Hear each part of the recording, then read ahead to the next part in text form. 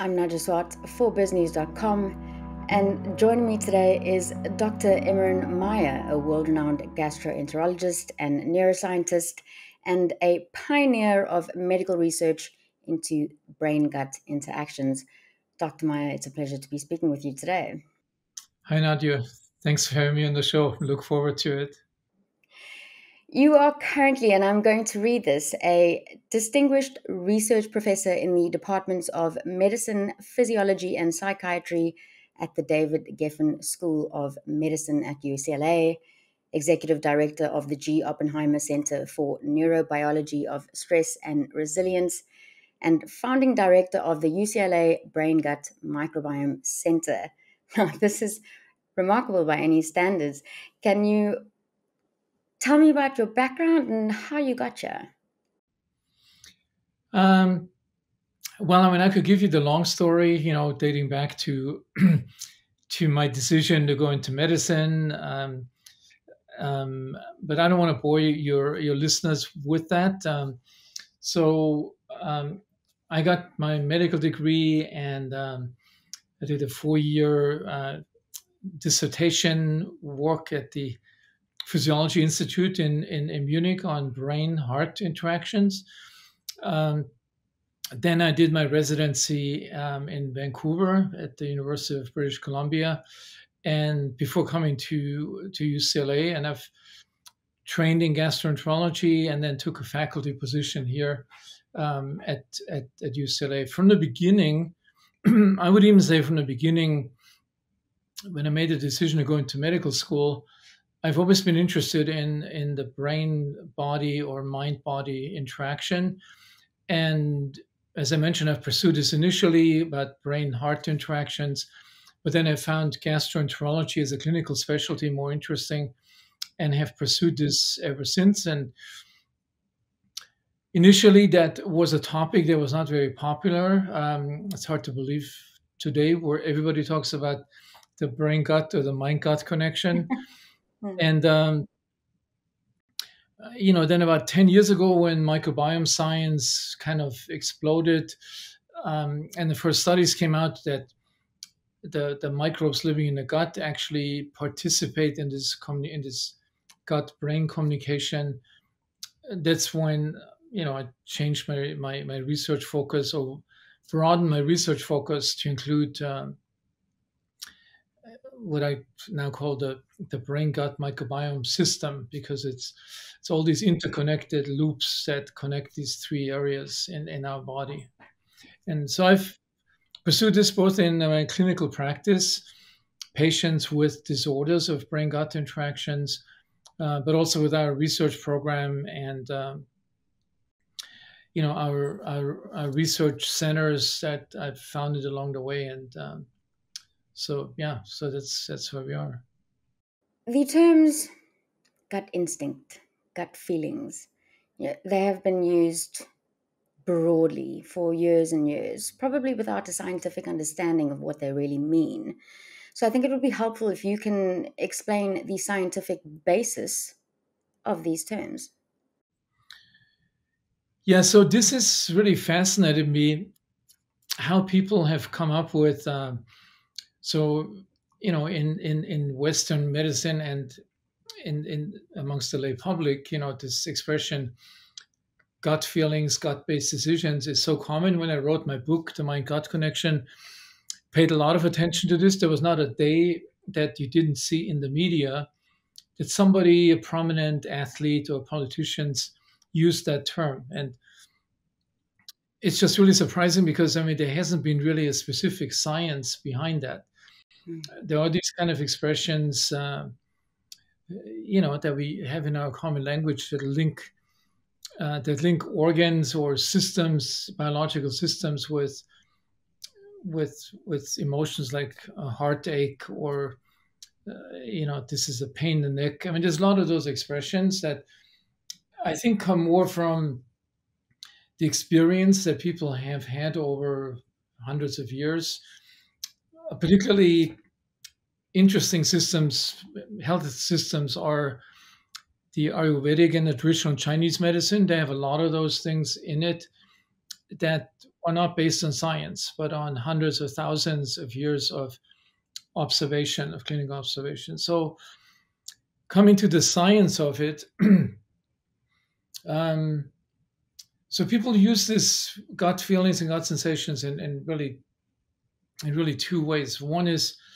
to make decisions, um, these gut-based decisions, when you're unable to make a the opposite would be the rational, um, you know, the, the pure rational decision based on plus and minus lists, and it's kind of a tedious process to go through these. And often at the end of this process, you're still not ready to make that final step and make that decision. Mm. Um, but it's also the other side is um, you know gut feelings. So that you experience it's the the famous butterflies in your stomach when you know on your first date or when before you have to give a talk which, which is somewhat different you know. So i want to start with the easier one. And where we have some science is the gut feelings. I mean the brain the emotional processes that go on in the brain often we don't even notice them but they're often expressed in our facial expressions uh, if you get good in it you can actually tell if somebody is is angry or sad or you know and it's universal it's a biological phenomenon so but what we don't know that or what most people don't know that the same way the brain sends these signals to the muscles in your face to create these facial expressions.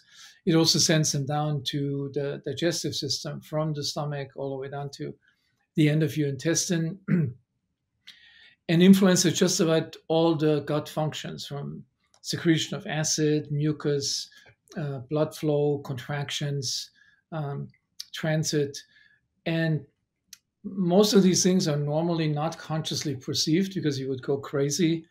Uh, but we have sensors in our um, the vagus nerve is a big part of this. Mm-hmm. Um, we have sensors in our gut which report these these activities, these emotion related activities, back to the brain, and then you create this this feedback loop. You know that you have emotions in the brain may not be conscious, creating a mirror image in the gut and that feeds back. So when somebody has gut feelings, I mean, so the easiest one are, are these uh, these butterflies that come can be good or negative things. Um, they really are a reflection of arousal systems in the brain that go through this process and sending signals back to the gut and, and back up to the brain.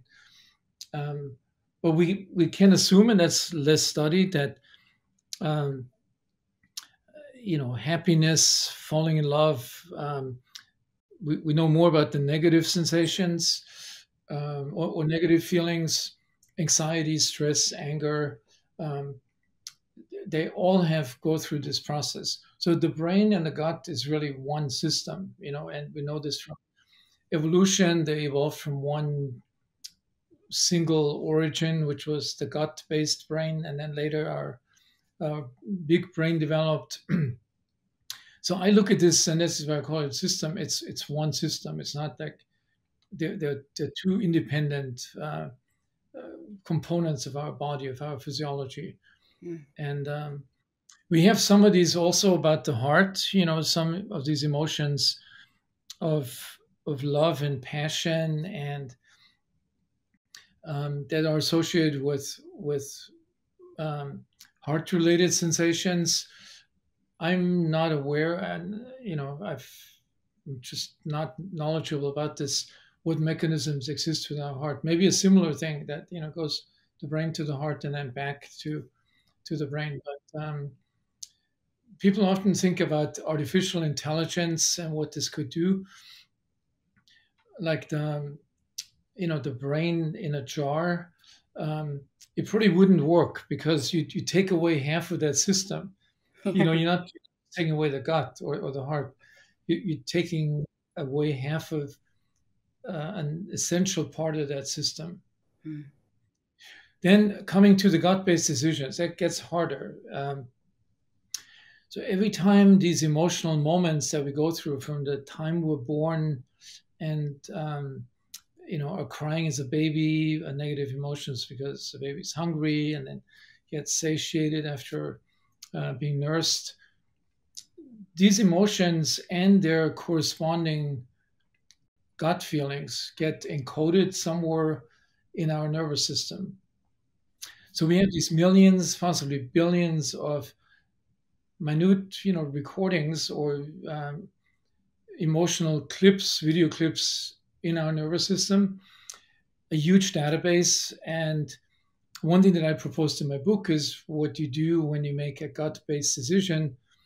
You access these memory banks like a like a search engine, um, which can within milliseconds come up with the right answer. So, you know, if, if, if you type in something in your Google search, you don't have to type in the whole word. The, the computer, the, the system knows this after the first few letters. and so this would be the equivalent of making this gut-based decision instantaneously, you know, um, without having to go through plus or minus considerations, which is a very slow process because that goes through your prefrontal cortex. Um, it's linear. It's it's it almost operates like an old-fashioned computer that we're no, no longer using. You know, whereas the gut-based decisions are really something that um, you know is similar to to these search engines and supercomputers that we use in our technical world. I've had a look through the titles of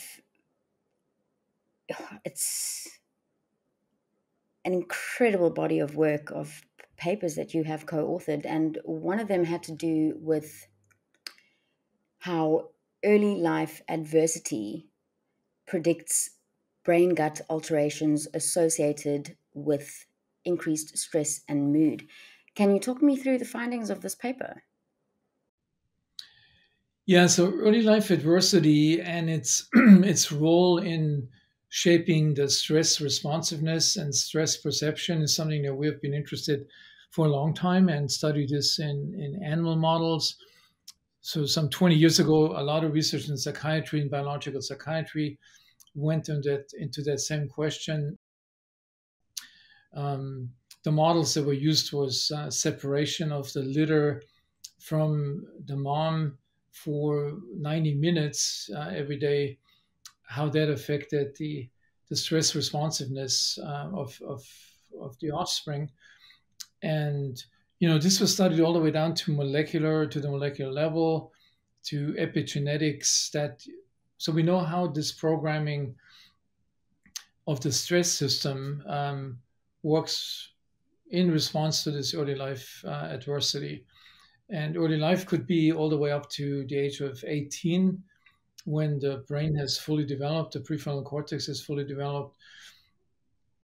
Um, and it's it's a very common thing if if you you know if if you take detailed histories of patients or even questionnaire studies have found that um, a significant proportion of the healthy population has these early adverse life events but a higher percentage of people with chronic diseases anywhere from you know chronic from gut disorders like IBS to um, you know, heart disease have a similar kind of a, a, a pattern of this early programming.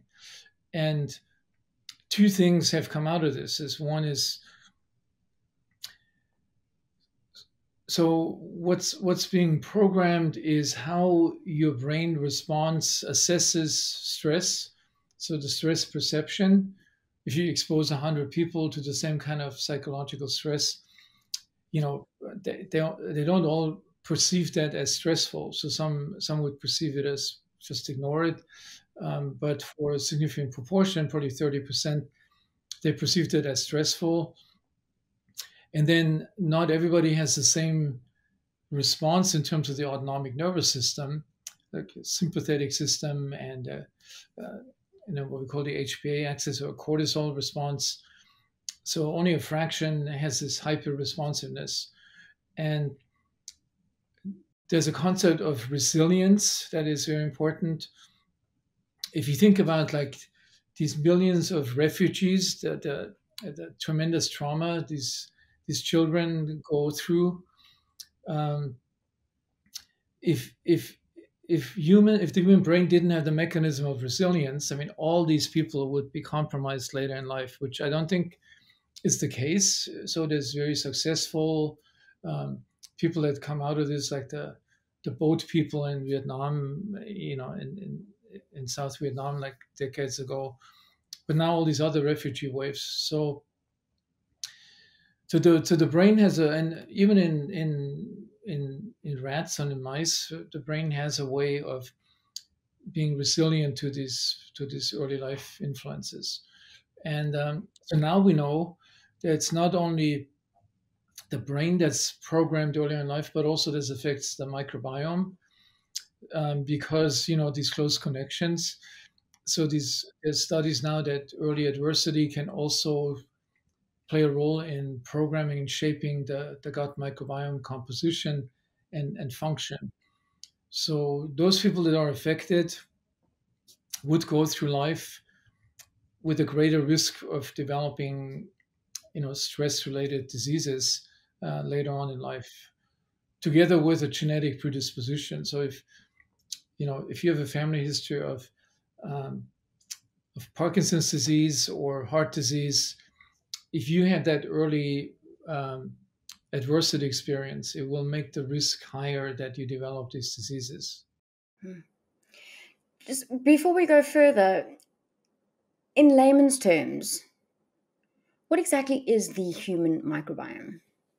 You know, it's been kind of um, the use has been kind of sloppy. Initially, the microbiota are the microbes, the microorganisms that are there in, in, in the gut, and these are bacteria, fungi, and um, um, we call archaea.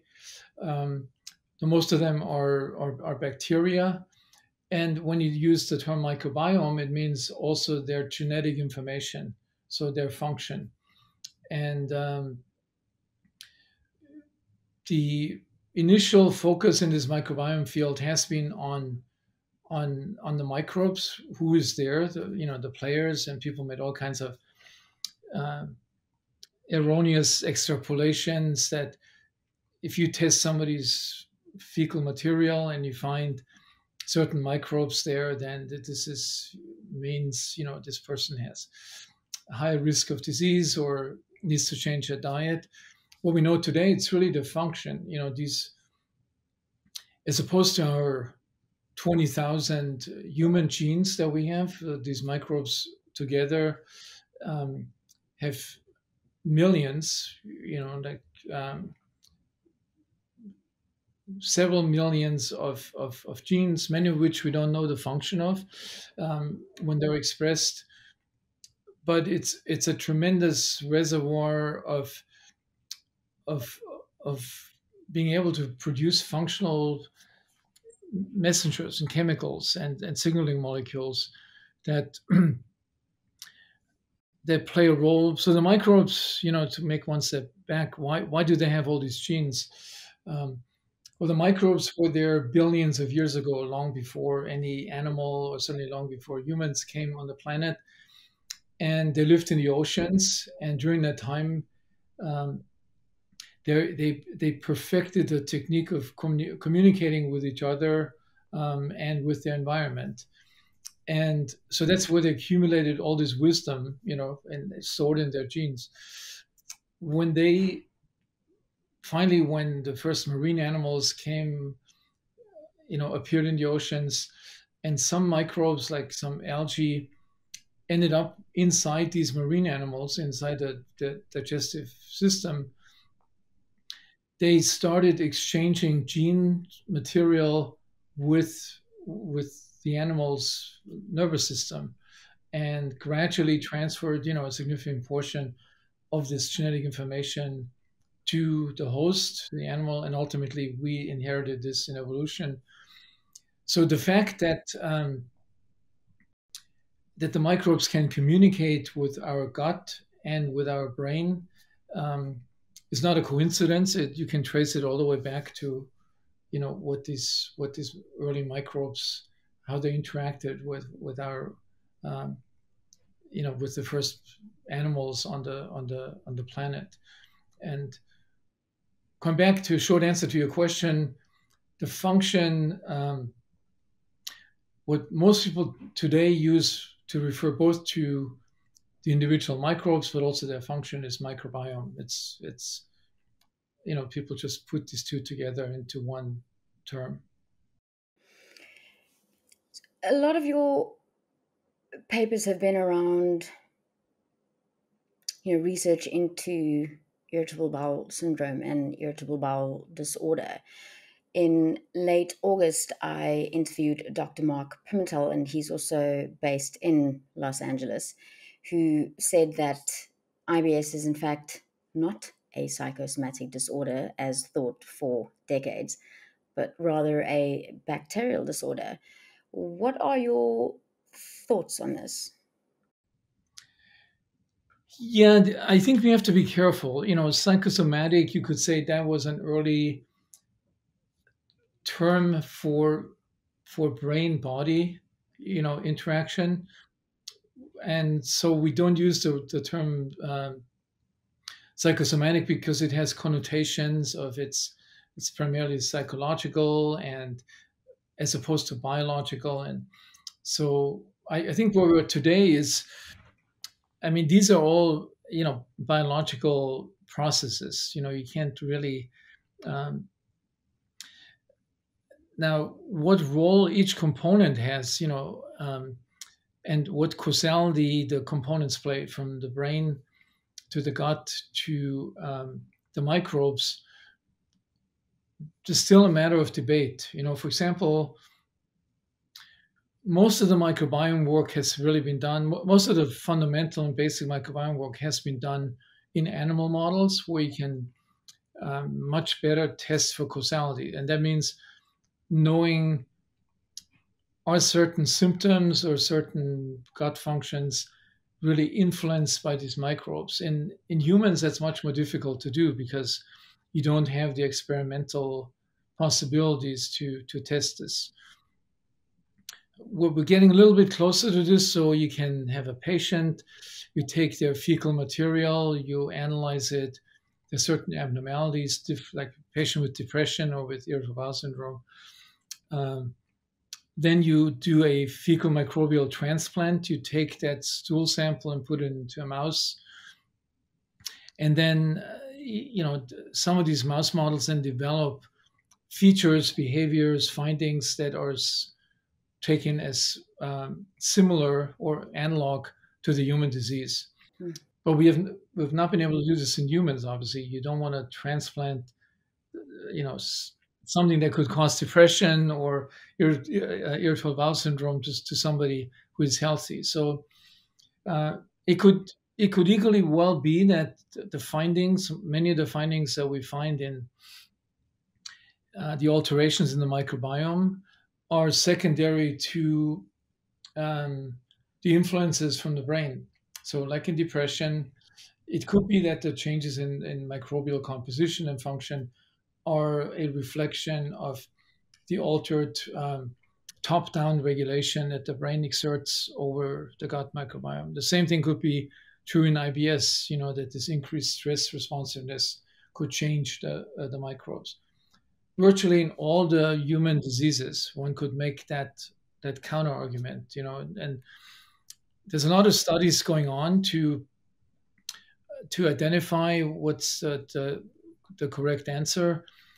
I personally think it's, as I mentioned before, it's this circular interaction that both systems are involved. Which one starts first, like in anxiety disorders or in depression? My bias is it starts in the brain because we know a lot about this, you know, for, for 50 or 60 years. Um, biological psychiatry, neuroscience has made tremendous progress. And to all of a sudden throw this out and say it all starts with the microbes, I, I don't think we have the data to say that. Now, one thing that's interesting, uh, and maybe a potential exception, one thing that we've found that the microbial ecosystem in the gut does, it can play a role in inappropriately stimulating the immune system, which is located to 70% in the gut. And that would create an inflammatory environment in the gut, which then spreads throughout the body. If you have that situation for 30, 40 years, and then it affects the brain as well, it could well be that this is a, a mechanism that explains in a genetically predisposed individual the development of autism, of um, Alzheimer's disease and, and Parkinson's disease. So that I think is these two disorders are kind of different. With the others, I think it's it's it's this, these circular interactions that that really explain currently our current finding the best.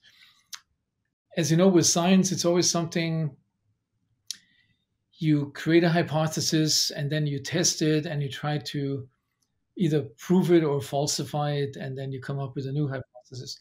So what I'm telling you today, you know, may not be. I, I wouldn't tell you in ten years from now or in five years from now.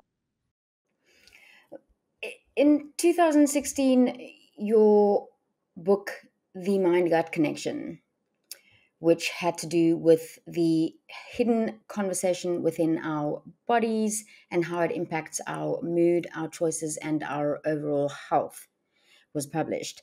Can you talk me through the key findings and how microbial communication, to which you have referred, plays a part? It sort of comes back to this conversation we just had, you know, this discussion. Um, one thing that's really important to realize, and it certainly affected my my research interests, it all of a sudden has brought in diet as a major factor in our you know in in, in, in medical science and in disease um, because the, the microbes are the interface between the diet that comes in from the outside and what goes towards towards our body. Because the microbes translate information that's contained in the diet also in other things like chemicals or medications we take. It translates this into the language of the immune system and then you know from there throughout the body. So clearly this this re-emphasis or this current current emphasis on healthy nutrition and the bad influences of the standard American diet um, have gotten most of their momentum, really, I think, from the microbiome research and will continue to do so. Mm. Uh, so, if we you know accept the fact which there's many epidemiological studies and uh, you know cross-sectional studies on hundreds of thousands of patients that diet is associated and a healthy diet is associated with better health including brain health and an unhealthy diet like the standard american diet with negative health outcomes uh, if we accept that then uh, you know the microbes play a central role in this mm. and within that within that field the the inflammation or the interaction with the immune system seems to be one of the key mechanisms you know i mean the microbes do two things one is they are the major factor that activates the immune system but they also produce a lot of molecules and signaling molecules that are not inflammation related but interact with inflammation um, somewhere on a particular organ, like the heart or the brain or, or the liver.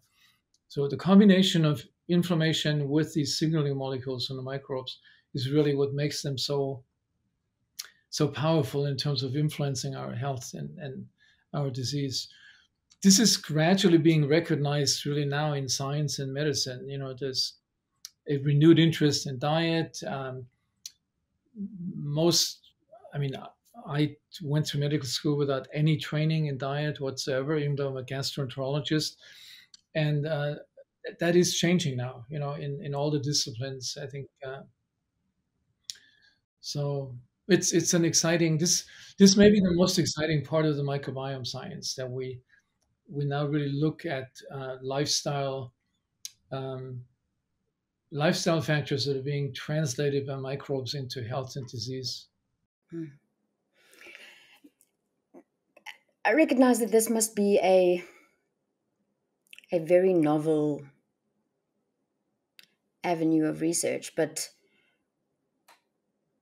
have you, in your research, found that there may be a link between cancer and a loss of microbiome nutrients?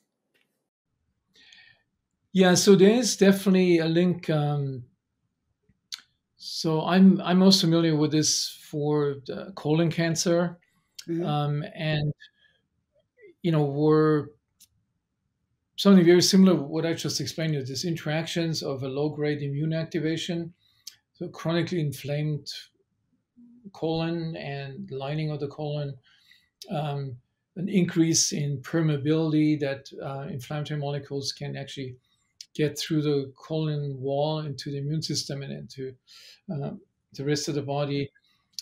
Um, that, that, those are major mechanisms implicated in in colon called carcinogenesis, and certain microbes have been identified that that are more common in patients with with colon cancer. Um, I'm always reluctant to sort of pin it down to one microbe because you know, that's really not the way it happens. It's always the community structure.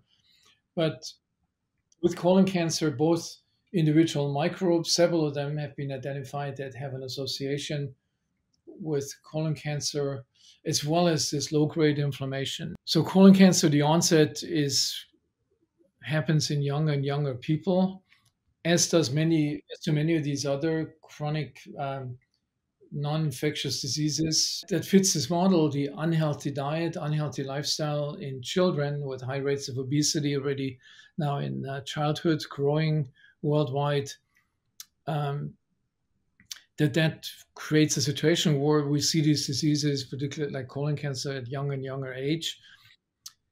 Interesting to me is how the medical system is responding to that. So you know the professional organizations of representing gastroenterology have just lowered the, the age limit for the age threshold for colon cancer screening to 45 years. That's not really going to help to decrease uh, that increased prevalence. You know that that may uh, prevent to reduce uh, who is going to die from colon cancer. But very little has happened, and gastroenterologists who do these colonoscopies do not give dietary recommendations. You know, so if people are on the standard American diet, they're after their screening colonoscopy, they're not being told, they're not even asked what they eat, and they're not being told to change their diet, mm. which is really sad. You know, I mean, we, there's a huge potential where one could save lives and and healthcare expenditures. Mm. To sum up, given the absence of vital advice after you know assistance from a gastroenterologist and certain procedures in terms of gastroenterology, what would you advise or promote as you know vital ways to combat what we do know about the connection between colorectal cancer, as an example, and and well, the gut microbiome? Yeah, so the, the, the, key things would be um, that you know there's counseling and first of all an assessment of this individual's lifestyle in terms of diet exercise um, you know sleep hygiene um, uh, emotional well-being. So that assessment it, it, does happen. Like for example at UCLA we have a, a group now that, uh, of specially trained uh, healthcare professionals that to make these assessments. And then I, I think the the first first step that I would recommend that is the most straightforward is to recommend a healthier diet, a change in diet. And um, almost universally, this is now being accepted that a a largely plant-based diet with sort of 75% of the diet coming from from plant-based foods and you know only 30% coming from from animal products which includes which, which, which should be not so much in terms of red meat but um, poultry and, um, and and and fish and seafood. that should be a universal recommendation. It's not easy for people who have developed their eating habits from childhood on, and you know they're culturally ingrained to eat red meat is obviously a, a manly, you know, trait that many men in the U.S. would never give up. Um, and women. so this is something I personally think an effort, a huge effort, should be made to do that. You know, with and and that would have to start early on in life you know pregnant mothers because it also has an effect on the pregnant mother and how the the the fetus develops and uh, you know health and brain of the newborn really starts in, in in in utero and is influenced by the mother's diet on that point i have to ask because I recently attended a lecture by uh, Dr. Zach Bush. He specializes in internal medicine and endocrinology, and he emphasized the difference between babies born via C sections and natural birth, and how those born via C section, which is increasing the world over, are essentially robbed of the natural microbiota, if I'm saying that correctly, of uh, their mother's womb as they exit. What can you tell me about this? And is it as significant as I just stated? It's not as dramatic as when this first was published. You know, the effects. So, so these these children survive. They they don't necessarily get all of them severe diseases, but there is there is an increased risk of obesity and allergic um, disorders. What what happens in terms of the microbiome goes as initially the first few months you can definitely tell if an infant did not come through the birth canal and got inoculated by combination of the vaginal and fecal microbiota of the mothers um, but later, you know, like after a year, you can't see a difference. But during that year, the damage has been done because the interactions with the immune system of the early microbiome has been interrupted. So it was not the same as if you had the, you know, the natural uh, inoculation. Later, the, the, the organisms come from the skin and from the environment and from um, so the system is resilient in terms of establishing a intact gut microbiome later on but you have that window where the damage happened in terms of training interaction with, with the immune system um, and you know increasing the risk for obesity asthma um, and a few other you know allergic and uh, um, uh, autoimmune diseases. So it's definitely a very important factor. Yeah. People are doing something to counteract this by, you know, taking a swipe from the vaginal uh, area and, um, you know, giving it to the infant after birth. How successful that is to prevent that that negative impact, I can't tell you, but it's it's so some people do it.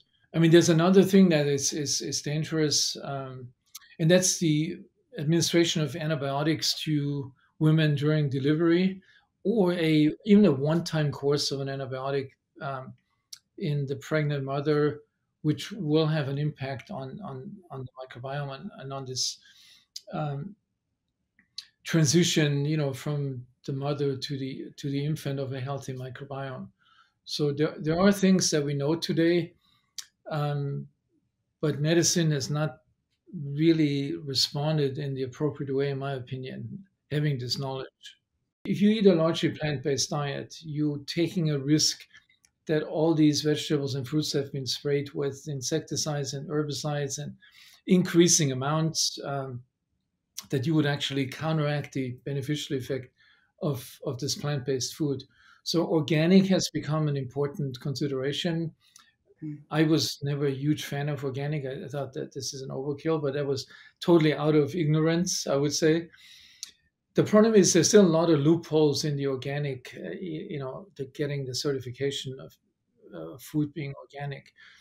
Secondly, organic just means that nothing has been sprayed onto these plants um, on the plant surface.